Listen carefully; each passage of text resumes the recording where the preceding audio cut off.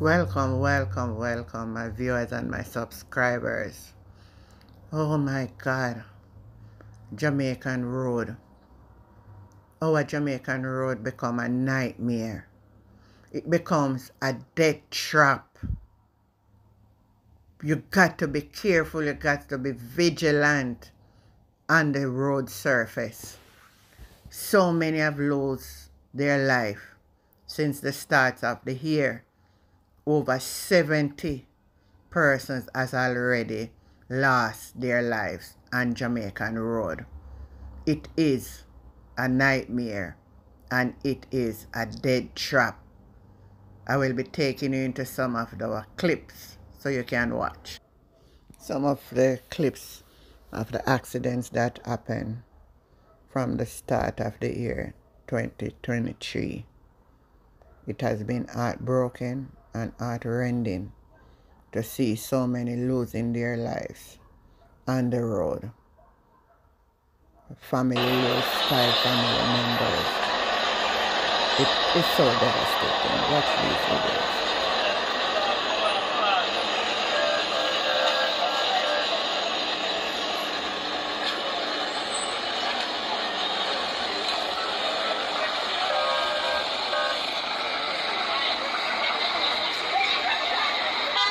Always smiling, very supportive, helpful.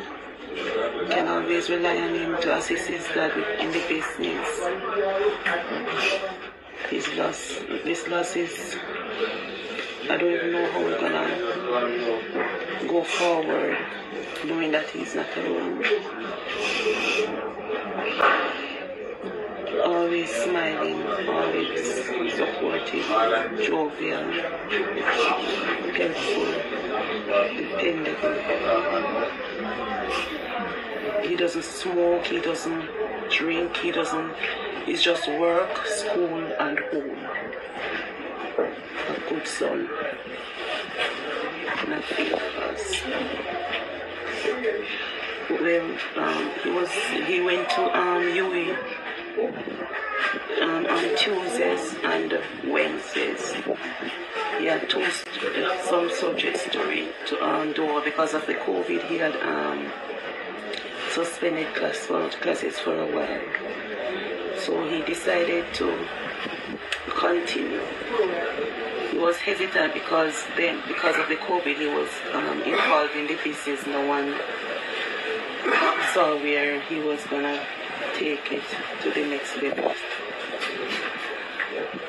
Um, he was coming from school yesterday and we called him around, I think around 8 o'clock uh, to ask him where he was. He said he was fine. Daddy, I'm in Mandeville. I'm taking a taxi now to come up so you can just meet me at Lennox. And that was the last we heard from him. We heard um, around 9 o'clock or so somebody called to say there's an accident and uh, he's in the he's in the he's in the taxi there's an accident. We went um, we immediately drove out. On our way we, just, we, we thought that how we didn't hear anybody calling again to say anything we called, they said he's in the car. But I heard that he's in the car. He's still in the car. I figured it wasn't good because I was saying, why would he still be in the car? Why did somebody didn't take him out and uh, assist him to the hospital? So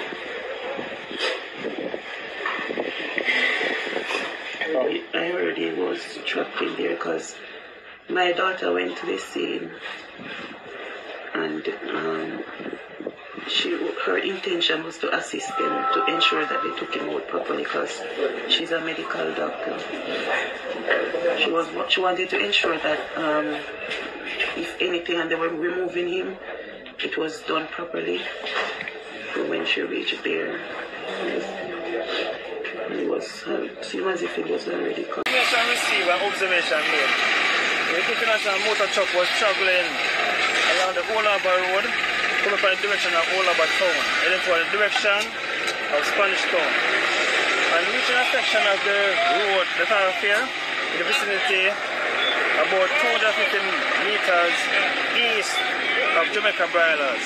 A black Mercedes-Benz was in the process of overtaking a line of traffic. And cars and vehicles that was coming to swerve onto the left near side, that is the, the, the whole of a bones side. Losing control, then pick up a speed, a skid, and the motor car, spun and the, the rear of the vehicle collided with the international motor truck. And there were three persons in the vehicle. Um, one female passenger was spinning the vehicle, which had to be removed, uh, who appears to be lifeless. But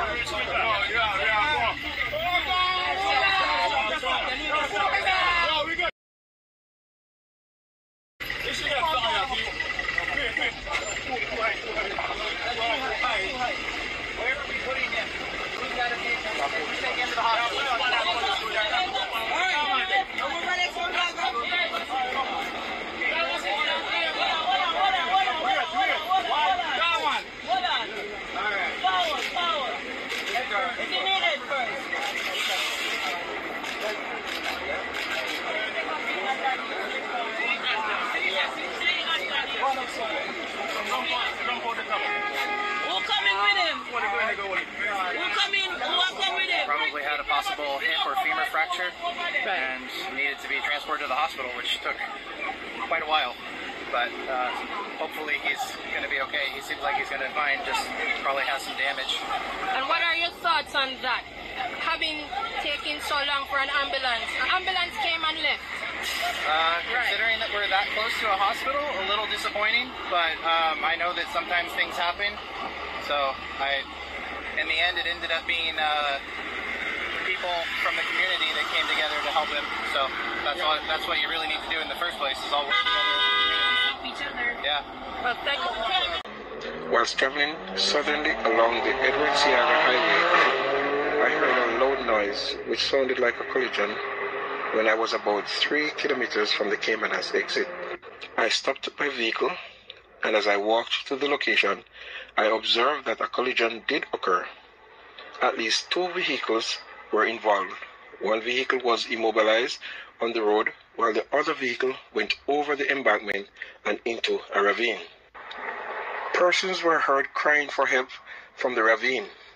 I communicated with Police Emergency Communication Center, who alerted the Highway Patrol, the fire department, as well as the ambulance. Four of the five persons who were taken from the ravine were transported to the hospital. Unfortunately, the fifth person was pronounced dead on the spot by the medical doctor. Three persons, to include a three months old child who were in the other vehicle, were also transported to the hospital. Preliminary assessment by the medical doctor is that their injuries are not life threatening. Operatives from the St.